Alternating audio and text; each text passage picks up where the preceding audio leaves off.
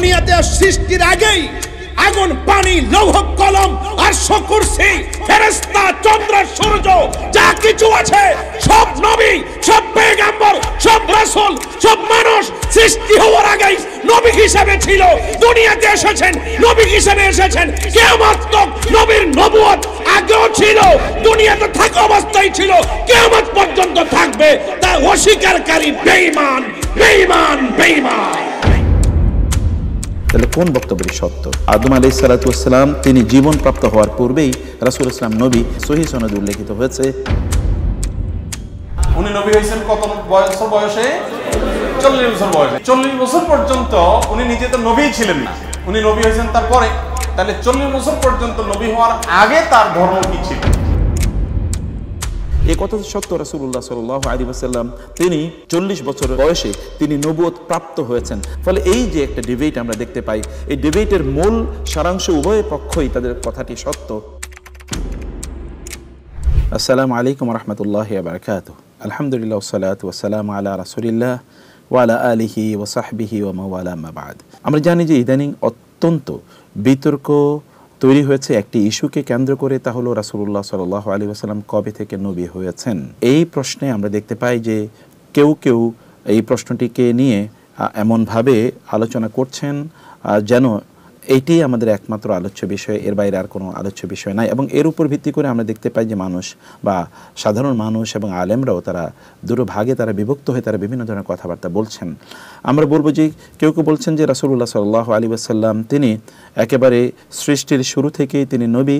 আবার এই আলোচনা আছে যে রাসুল্লাহ সাল্লাম চল্লিশ বছর বয়সে তিনি নবোধ পেয়েছেন। তাহলে কোন বক্তব্যটি সত্য? আমরা আসলে বলি যে দুটো বক্তব্যই সত্য। অতএব যিনি বলেছেন রাসুল্লাহ সাল্লাহ সাল্লাম চল্লিশ বছরে তিনি নবোধ প্রাপ্ত হয়েছেন। এই বক্তব্য যেমনিভাবে সত্য, ঠিক তেমনিভাবে ওই বক্তব্য সত্য যে রাসুল্লাহ সাল আলী আসাল্লাম তিনি একেবারে আদম আলি সালাতামকে যখন রুহ তার শরীরে ফুৎকার দিয়ে দেয়া হয়নি, তার আগ থেকেই রাসুল্লাহ সাল্লাহ সাল্লাম নবী।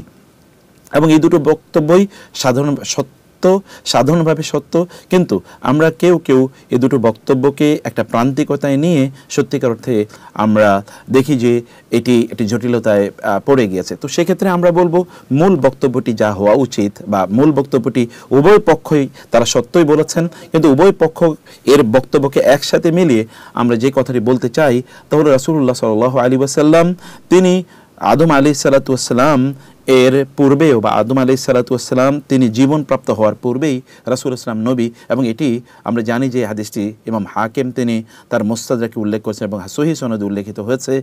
রাসুল্লাহ সাল্লাহ আসলামকে যখন প্রশ্ন করা হলো, মাতা ওয়াজাবাত লাকান নবুয়া অথবা, মাতা কুন্তা নাবিয়ান? আপনি কখন থেকে নবী ছিলেন? ইয়া রাসুল্লাহ তাকে যখন প্রশ্ন করা হলো, তখন তিনি বলেছেন, আনা নাবিউন ওয়া আদামু আমি নবী ওয়া আদম বাইন আল জাসাদি ওয়ার রুহি।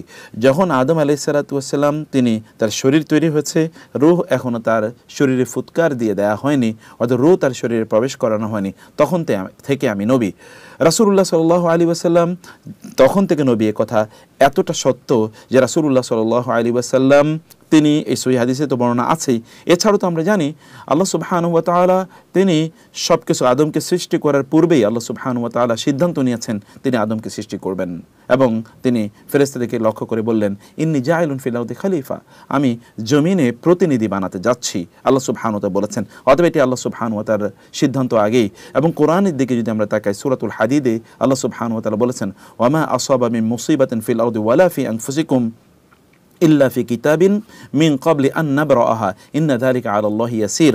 আল্লাহ সুবহানতরা বলেছেন এই পৃথিবীতে এমনকি তোমাদের জীবনে যত ঘটনা বা দুর্ঘটনা ঘটুক না কেন এগুলো তোমাদের সৃষ্টির পূর্বেই এই আসমান এবং জমিন সৃষ্টির পূর্বে তোমাদের সৃষ্টির পূর্বেই এগুলো আহ, এবং এগুলো ঘটার পূর্বেই আল্লাহ ওয়া তাআলা বলছেন যে এগুলো আমি কিতাবের মধ্যে মানে লাহে মাহফুজে মূল যে কিতাব, সেই কিতাবের মধ্যে এগুলো আমি লিপিবদ্ধ করে রেখেছি এবং এটি আল্লাহ সুবহানাহু ওয়া জন্য খুবই সহজ। তার মানে আমাদের জীবনে যা কিছু ঘটছে না কি, এগুলো সবই আল্লাহ ওয়া তাআলা আমাদের সৃষ্টির পূর্বে সব লিখে রেখেছেন। এমনকি আদম আলাইহিস সালাতু ওয়াসালামের সৃষ্টির পূর্বেও আল্লাহ ওয়া তাআলা এগুলো সব কিছু জানতেন।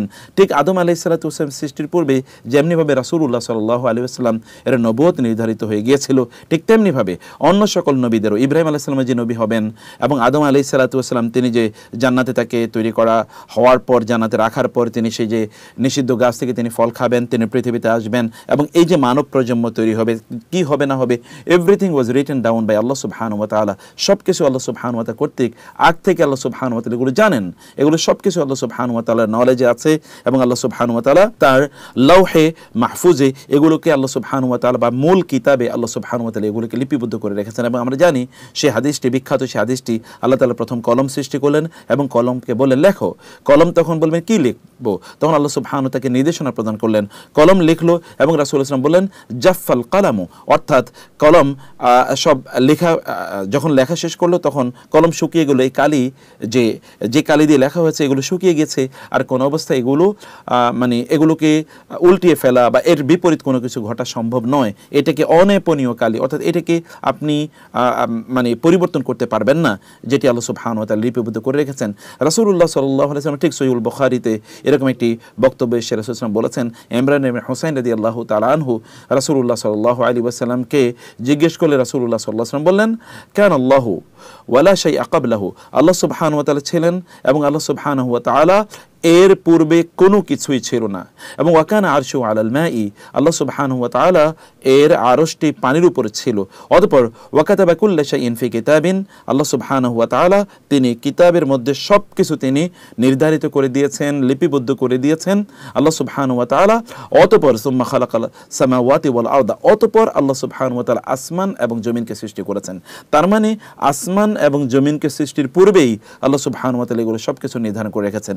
এই অর্থে তো রাসূলুল্লাহ সাল্লাল্লাহু আলাইহি ওয়াসাল্লাম তিনি সেই শুরু থেকে তিনি নবী একত সত্য, যেমনিভাবে অন্যান্য নবীরাও নবী এবং আপনাদের জীবনে যে সকল ঘটনাগুলো ঘটবে, এটিও কিন্তু রাসূলুল্লাহ সাল্লাল্লাহু আলাইহি ওয়াসাল্লাম তিনি পূর্ব থেকে যেমনিভাবে নবী হিসেবে নির্ধারিত, আপনাদের জীবনেও সব কিছু এগুলো পূর্ব থেকে নির্ধারিত বা এটাই কিন্তু আমাদের তাকদিরের প্রতি, আমাদের ইমান বা তাকদিরের প্রতি আমাদের বিশ্বাসের অংশ। আর দ্বিতীয়ত হচ্ছে, এ কথা সত্য রাসূলুল্লাহ সাল্লাল্লাহু আলাইহি ওয়াসাল্লাম তিনি চল্লিশ বছর বয়সে তিনি নবুয়ত প্রাপ্ত হয়েছেন।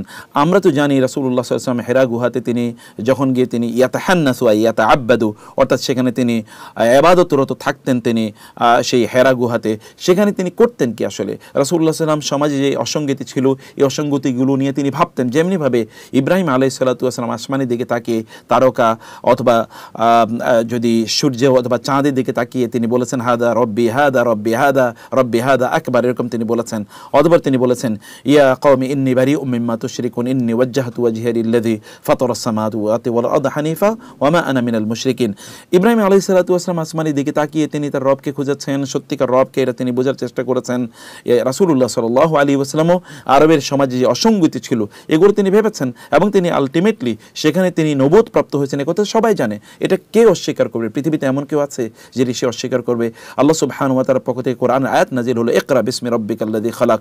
রাসূল দৌড়ে গেলেন খাদিজার কাছে এবং বললেন, আমি কি মানে আমি- কি পাগল হয়ে গেলাম বা আমাকে কি অন্য কোনো কিছু আমাকে মানে আসর করল কিনা? মানে রাসূল ইসলাম ভয় পেয়ে গেলেন এবং তিনি তার স্ত্রীকে বলেন যা মেলুনি যা মেলুনি এবং আল্লাহ তাআলা কোরআনের আয়াত নাজিল করলেন, সূরা নাজিল করলেন, ইয়া ইউহাল মুজাম্মিলু ইয়া ইউহাল মুদ্দাসসিরু খাদিজাতুল কুবরা তাকে নিয়ে গেলেন, ওয়ারাকা বিন নওফলের কাছে। ওয়ারাকা বিন নওফল বললেন, আপনার কাছে যিনি এসেছেন, তিনি হচ্ছেন নামুস। এবং তিনি মুসা আলাইহিস সালাতু ওয়াসালামের কাছে এসেছিলেন।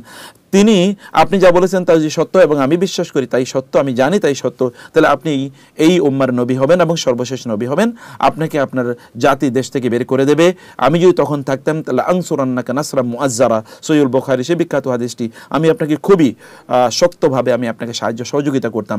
তিনি তো এই নবদ প্রাপ্ত হওয়ার পরে তিনি সাফা পাহাড়ের পাদদেশে গিয়ে তিনি সকলে ডাকলেন, তিনি কুরাইশ কমিটিকে ডাকলেন, ইয়া মা সারা কুরাইশ, এবং তাদেরকে বললেন, আমি যদি তোমাদেরকে বলি, এই সাফা পাহাড়ের অপর অপর প্রান্তে বা বিপরীত পাশে একদল লোক ওত পেতে আছে তোমাদেরকে আক্রমণ করার জন্য। তোমরা কি বিশ্বাস করবে? তারা বলবেন হ্যাঁ। তারা বললেন হ্যাঁ বিশ্বাস করব। মা জারবেন আলাই কামিন ক্যাদিবিন আমরা কখনো আপনাকে মিথ্যা বলতে শুনিনি। অতএব আপনি বললে আমরা এটা বিশ্বাস করব। এই ঘটনাগুলি কি সত্য নয়? এবং কি তিনি চল্লিশ বছরের আগে কাউকে তিনি কোনোদিন দাওয়াত দিয়েছেন? তিনি কি মূর্তি পূজার বিরুদ্ধে তিনি কথা বলেছেন? তিনি কি সলাতের এখন যে সিস্টেম আমরা সলাত আদায় করছি, এটা কি তিনি করেছেন? অথবা তার উপর কি সলাৎ ফরজ হয়েছে তখন? অথবা তিনি কি কোথাও গিয়ে বলেছেন, আমি আল্লাহর নবী তিনি এগুলো কোনোটাই তো তিনি করেন নাই। বরং তিনি এর আগে স্বাভাবিক জীবনযাপন করেছেন, সমাজের উন্নয়ন উন্নয়ন, কল্যাণ ইত্যাদি, হেল্পফুল ফজুল ইত্যাদির মাধ্যমে কাজ করেছেন খাদিজা তাআলা বিয়ে করার পর তারপরে তিনি তার সম্পদ দিয়ে মানুষের জন্য উপকারের কাজ করেছেন, জনকল্যাণমূলক কাজ করেছেন, যেগুলো সৈয়ুল বখারি হাদিসে এসছে। তাইলে বোঝা যাচ্ছে যে চল্লিশ বছর বয়সে তিনি ফরমালি যে নবুয়তের যেই যেই কাজ, অর্থাৎ নবুয়তের দায়িত্ব তিনি প্রাপ্ত হয়েছেন, নবুয়তের কথা মানুষকে প্রচার করা, রেসালাতের দায়িত্ব তিনি প্রাপ্ত হয়েছেন, রেসালাতের কথাগুলো মানুষকে প্রচার করার জন্য নবুয়তের দিকে, রেসালাতের দিকে অথবা ইসলামের দিকে মানুষকে আহ্বান করার জন্য তাকে ফরমালি দায়িত্ব প্রদান করা হয়েছে যে তিনি এখান থেকে তিনি দায়িত্ব পালন করবেন। এর আগে থেকে তিনি দায়িত্ব পালন করেননি, কারণ সেই দায়িত্ব তাকে প্রদান করা হয়নি। এমনকি তিনি নিজেও তো জানতেন না যে তিনি নবী হবেন। এরকম কি কোনো, তিনি কোনোদিন দাবি করেছেন তিনি নবী হবেন? এরকম কোনো প্রমাণ আছে? এমনকি বাহিরের যে ঘটনাটি আমরা জানি, বারো বছর বয়সে যখন তিনি সিরিয়াতে গিয়েছিলেন তার চাচার সাথে, সেই ঘটনাটি যদিও আমরা যদি সনদগত বিশ্লেষণ করি, সেখানে ত্রুটি আছে বা সেখানে দুর্বলতা আছে বটে সেটাকে যদি আমরা ধরেও নেই। তাও তো রাসুল্লাহ সাল্লাম অথবা আরবের কোনো লোকেরা, এমনকি তার চাচা, এমনকি তার আত্মীয় স্বজন কেউ তো দাবি করেনি যে না, তিনি নবী হবেন। এ কথা কেউ বলেনি। তো ফলে তিনি নিজেও জানতেন না, অথবা তার আত্মীয় স্বজন, তার চাচাও জানতেন না যে তিনি নবী হবেন। যতটুকু বলেছে, ততটুকুর উপর ভিত্তি করে তার চাচাও কোনোদিন দাবিও করেননি, অথবা এটা প্রচারও করেননি, বলেনও নি। তিনি নিজেও বলেননি যে তিনি নবী হবেন, কারণ ওই যে বাহিরা বা বোহায়রা, পাদ্রি তাকে কথা বলেছে। ডিবেটের মূল সারাংশ উভয় পক্ষই তাদের কথাটি সত্য, কিন্তু আমরা এটাকে নিয়ে আসলেই টানাটানি করছি, এই টানাটানি করা এবং একজনের চরিত্র হনন করা, অন্যের বিরুদ্ধে কথাবার্তা বলা, এই এই যে আমরা কাজগুলো করছি, এগুলো কোনো অবস্থায় কাজগুলো ঠিক নয়, বরং আমার মনে হয় যে এই বিষয়ে আমরা প্রত্যেকের প্রতি সম্মান প্রদর্শন করে আমরা বাস্তবতা যেটা বা সত্য যেটি সেই বিষয়টাকে আমরা গ্রহণ করি। আল্লাহ সুবহানাহু ওয়া আমাদেরকে বোঝার তৌফিক দান করুন। আল্লাহ আমিন।